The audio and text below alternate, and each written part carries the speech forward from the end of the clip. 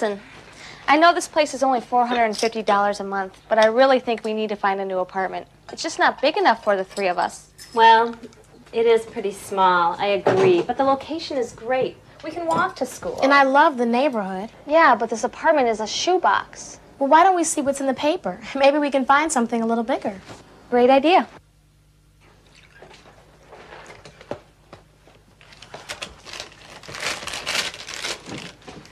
Now, let's see what's available.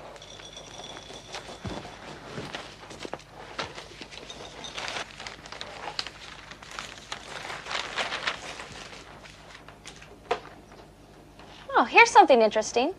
A two-bedroom apartment in Lakeview for only $600. That's a great area. yeah, but a long way from school.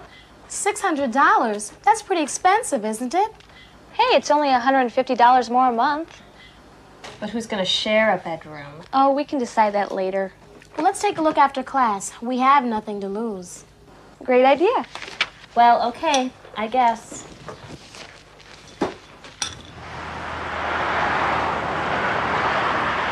This is the place, 1820 Lincoln Street. Looks okay to me. Let's wait and see. These places are never as good as they sound.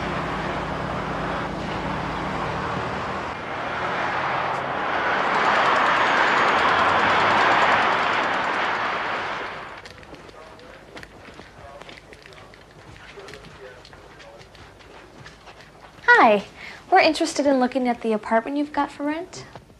Oh, apartment number one, sure, sure. It's a great little apartment. Little. How big is it? Oh, wow, it's plenty big enough for the three of you. Are you students? That's right. We're at the University of Chicago. University of Chicago, huh? That's a good school. Well, uh, let's go take a look, shall we?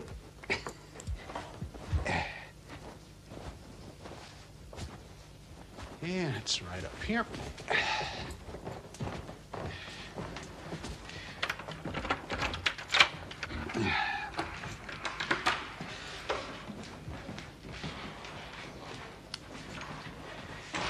Well, uh, this is a living room. Gee, it's kind of small. A little table and a few chairs. That's about all that'll fit in here. Yeah, it looks big enough to me. And bigger than where we are right now. I guess it's okay. What's the kitchen like? Oh, well, take a look. It's right through here. It sure could use a good cleaning. Oh, that stove looks really dirty. Does it work? Oh, I think so.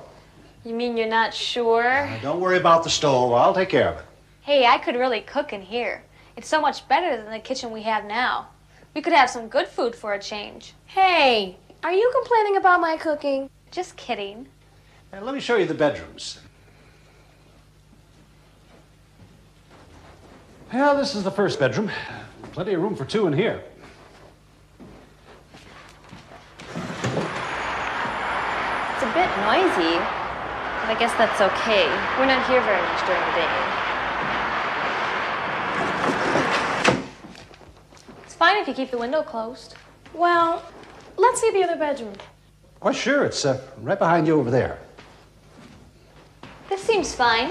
It's not as big as the other one, but there's room for my books and CDs. Hey, who said you'd get the single room? Listen, I'm thinking of you. This way you won't have to listen to my snoring.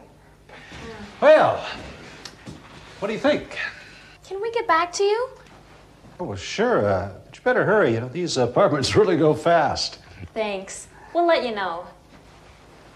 So,